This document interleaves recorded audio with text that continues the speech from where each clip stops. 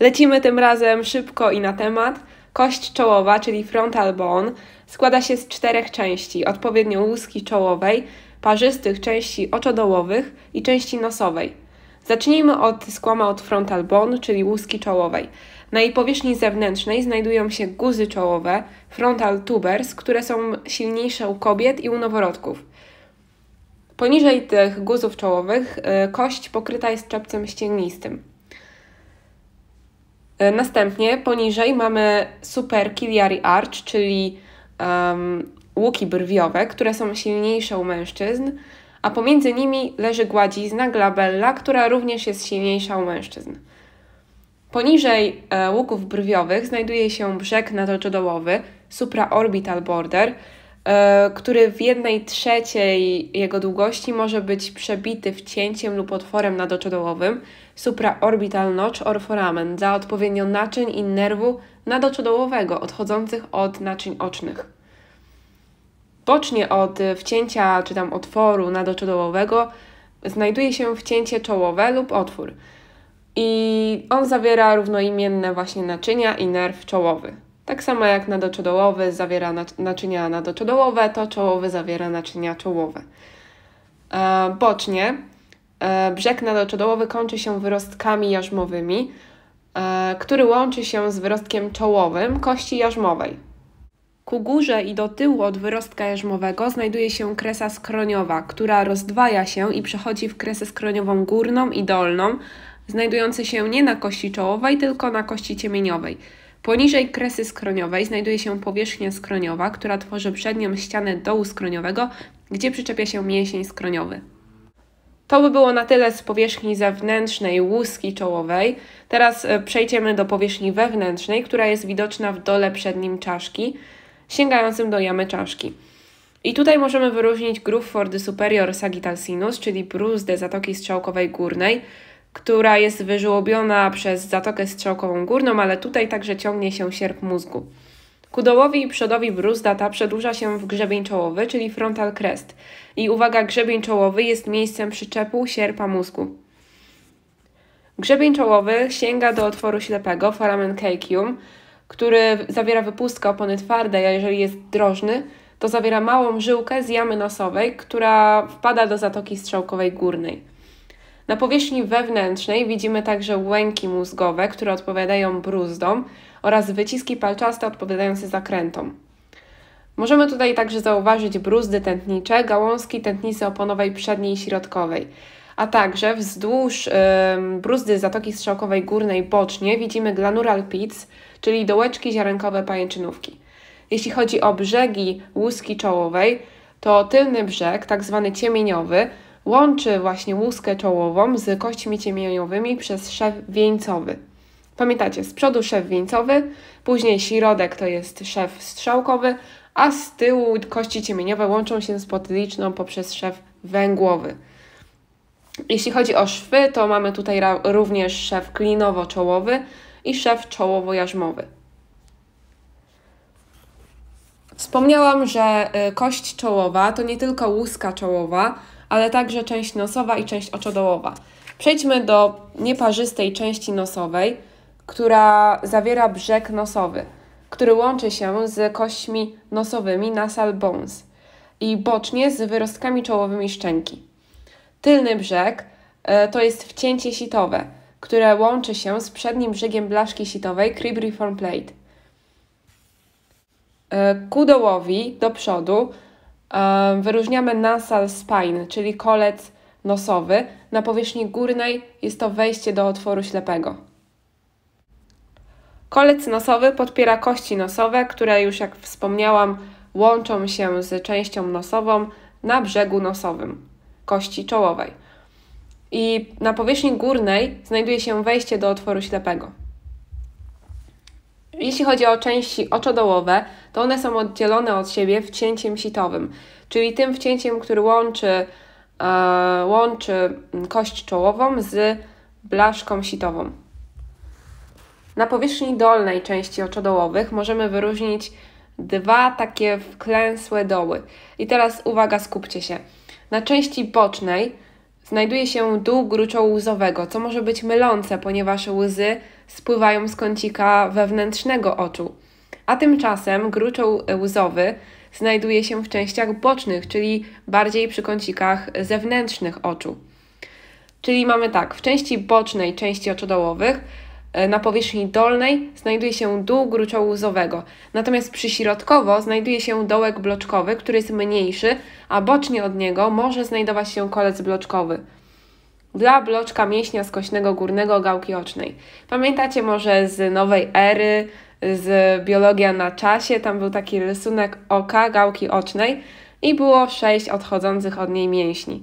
No to właśnie e, mięsień skośny górny gałki ocznej ma bloczek, który y, łączy się z kolcem bloczkowym znajdującym się obok dołka bloczkowego, który to dołek bloczkowy znajduje się w części przyśrodkowej części oczodołowej, czyli tam, gdzie kącik wewnętrzny oka. Na powierzchni górnej części oczodołowej, czyli tam, gdzie jest dół przedniej czaszki, znajdują się wyciski łęki oraz słabe bruzdy tętnic oponowych.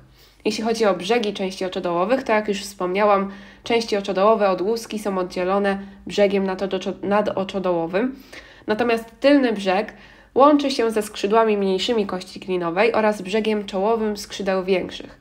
Przyśrodkowy z brzegiem bocznym blaszki sitowej, gdzie, tworzy jest, gdzie jest tworzony szef czołowo-sitowy. Wyróżniamy także szef czołowo-łzowy, łączący właśnie części oczodołowe z kośćmi łzowymi na przyśrodkowej ścianie oczodołu. Jeśli chodzi o wcięcie sitowe, to ono zawiera półkomórki i półkomórki wcięcia sitowego razem z półkomórkami górnej powierzchni sitowej tworzą komórki sitowe. Z kolei dwa czołowo ustawione rowki wcięcia sitowego wraz z odpowiednio ustawionymi rowkami błędnika sitowego tworzą dwa kanały, otwory sitowe przedni i tylny. I te otwory sitowe przednie i tylne zawierają gałęzie naczyń ocznych oraz nerwu nosowo-rzęskowego od pierwszej gałęzi nerwu trójdzielnego. I teraz otwór sitowy przedni prowadzi z oczodołu do dołu przedniego czaszki, przebija blaszkę sitową i wchodzi do jamy nosowej. Natomiast otwór sitowy tylny prowadzi z oczodołu do zatoki klinowej oraz komórek sitowych tylnych. Podobnie do kości klinowej, kość czołowa również zawiera zatoki czołowe, które są umiejscowione na granicy łuski i części oczodołowych, czyli mniej więcej brzeg nadoczodołowy, te okolice we wnętrzu kości czołowej. E, ku tyłowi mogą wnikać w skrzydła mniejsze kości klinowej. Ich przegroda jest asymetryczna, podobnie do przegrody zatok klinowych. E, z kolei otwór zatoki czołowej znajduje się w przedniośrodkowym kącie części oczodołowej i łączy się z jamą nosową. Dopiero po dojrzewaniu są one w pełni rozwinięte, ponieważ brak ich u noworodka. Wspomniałam, że otwór zatok czołowych znajduje się w przedniośrodkowym kącie części oczodołowej i łączy zatoki czołowe z jamą nosową. Z kolei wróćmy sobie do poprzedniego filmiku, gdzie wspominałam o otworach zatok klinowych. E, pamiętacie, jak mówiłam o tej powierzchni przedniej trzonu, która jest generalnie niewidoczna i trudna do wyobrażenia. E, po środku znajduje się grzebień klinowy, bocznie od nich małżowiny klinowe. Z kolei właśnie bocznie od małżowin klinowych znajdują się otwory zatok klinowych. Wróćmy jeszcze raz do kości czołowej, zatoki czołowe. Otwory zatok czołowych znajdują się w przedniośrodkowym kącie części oczodołowych. A może pamiętacie, co znajduje się w przyśrodkowej części e, wewnętrznej części oczodołowej? Tam znajdował się dołek bloczkowy. Oprócz wspólnej cechy kości czołowej i kości klinowej, jakimi są zatoki przynosowe, e, kość czołowa również łączy się z dwunastoma kośćmi i są to odpowiednio kość klinowa, sitowa, kości ciemieniowe, nosowe, kości szczęki, łzowe oraz jarzmowe. Teraz przejdźmy do parzystych części kości potylicznej, czyli części bocznych. Na powierzchni dolnej, czyli tam, gdzie jest zewnętrzna powierzchnia podstawy czaszki, wyróżniamy kłykcie potyliczne, occipital condyles, które są pokryte chrząstką, ponieważ łączą się z dołkami stawowymi górnymi kręgu szczytowego. Pamiętacie, kręg szczytowy nie ma wyrostków stawowych górnych i dolnych, tylko ma powierzchnie stawowe górne i dolne. I właśnie górne łączą się z kłykciami potylicznymi, dlatego są wklęsłe, ponieważ kłykcie potyliczne są wypukłe. Do brzegów, czyli części bocznych kłykci potylicznych, przyczepiają się torebki stawów szczytowo-potylicznych. Z kolei do przyśrodkowych części kłykci potylicznej e, przyczepiają się więzadła skrzydłowate, czyli pamiętacie, te więzadła skrzydłowate, które odchodzą od wierzchołka zębu kręgu obrotowego. E, podstawę kłykci potylicznych przebija hypoglosal canal, czyli kanał nerwu podjęzykowego, który właśnie zawiera ten nerw podjęzykowy, czyli ostatni, dwunasty nerw czaszkowy, a także jego drobne sploty żylne. E, do tyłu od kłykci potylicznych możemy wyróżnić taką wklęsłą powierzchnię. Jest to dół kłykciowy, który, e, na który mogą zachodzić tylne brzegi dołka stawowego górnego atlasa, gdy głowa jest zgięta ku tyłowi. E, do tyłu jeszcze od tego dołu kłykciowego znajduje się kondylal kanal, czyli kanał, kanał kłykciowy, który zawiera żyłę wypustową kłykciową. Na powierzchni górnej części bocznych, czyli tam, gdzie jest wewnętrzna powierzchnia podstawy czaszki, znajduje się guzek szyjny, który jest gładki i on znajduje się nad kanałem nerwu podjęzykowego. Czyli od strony dolnej, od tej zewnętrznej powierzchni podstawy czaszki, znajdują się kłykcie potyliczne, później tak na środku jest e, kanał nerwu podjęzykowego, a na wewnętrznej powierzchni znajduje się guzek szyjny pokrywający właśnie ten wejście do kanału nerwu podjęzykowego. Jeśli chodzi o brzegi części bocznych, to brzeg przyśrodkowy e, otacza otwór wielki, natomiast e, brzeg boczny to stanowi główne wcięcie szyjne e, z wyrostkiem szyjnym, okrążony od góry groove for sigmoid sinus, czyli bruzdą zatoki esowatej. Te wcięcie szyjne jest przydzielone wyrostkiem śródszyjnym i dlatego otwór szyjny także jest podzielony na dwie części. Jugular foramen, czyli otwór szyjny, jest przedzielony wyrostkiem śródszyjnym na dwie części. Część przyśrodkową przednią, która jest mniejsza oraz część boczną tylną, która jest większa. Przez mniejszą część przednią przechodzi zatoka skalista dolna oraz nerw językowo-gardłowy dziewiąty, natomiast przez część boczną tylną przechodzą nerw błędny dziesiąty, nerw dodatkowy jedenasty, żyła szyjna wewnętrzna, tętnica oponowa tylna, która odchodzi od tętnicy gardłowej wstępującej. Część przyśrodkowa przednia mniejsza zawiera zatokę skalistą dolną, nerw językowo-gardłowy dziewiąty, natomiast nerw dziesiąty, jedenasty przechodzą przez część boczną tylną, która zawiera także żyłę szyjną wewnętrzną, tętnicę oponową tylną. Otwór szyjny jest utworzony generalnie przez wcięcie szyjne części bocznych kości potylicznej oraz wcięcie szyjne brzegu tylnego piramidy kości skroniowej. Czyli tak naprawdę otwór szyjny nie zawiera się wyłącznie w częściach bocznych kości potylicznej, ponieważ jest utworzony przez dwa wcięcia szyjne, odpowiednio części bocznych kości potylicznej i brzegu tylnego piramidy kości skroniowej. Na dolnej powierzchni znajduje się wyrostek sutkowy, który może się łączyć z transverse proces C1, czyli z wyrostkiem poprzecznym kręgu szczytowego. Przejdźmy teraz do największej części kości potylicznej, czyli łuski potylicznej. Na jej powierzchni zewnętrznej możemy wyróżnić od góry kresę karkową najwyższą, kresę karkową górną, kresę karkową dolną. I teraz kresa karkowa najwyższa stanowi tą granicę płaszczyzny potylicznej i płaszczyzny karkowej. Poniżej kresy karkowej najwyższej znajduje się kresa karkowa górna, która w środku jest e, tak naprawdę przedzielona e, guzowatością potyliczną zewnętrzną, która jest takim punktem, który nazywa się inion.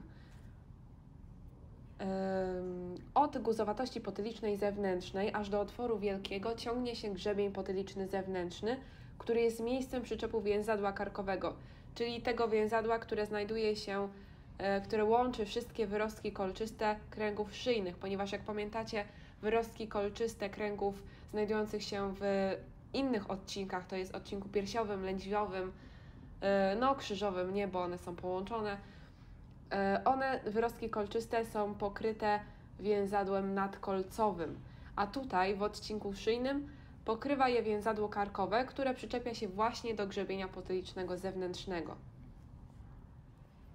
Grzebień potyliczny zewnętrzny na środku jest y, poziomo przedzielony kresą karkową dolną. Na powierzchni wewnętrznej łuski potylicznej, sięgającej do jamy czaszki i tworzącej dół tylnej jamy czaszki, znajduje się wyniosłość krzyżowata, czyli cruciform eminence, która ma cztery charakterystyczne doły utworzone przez y, taki krzyżyk na środku. Doły górne są trójkątne i przeznaczone dla płatów potylicznych mózgu, z kolei dolne czworokątne dla półkul muszczku. Górne dla płatów potylicznych mózgu, a dolne dla półkul muszczku.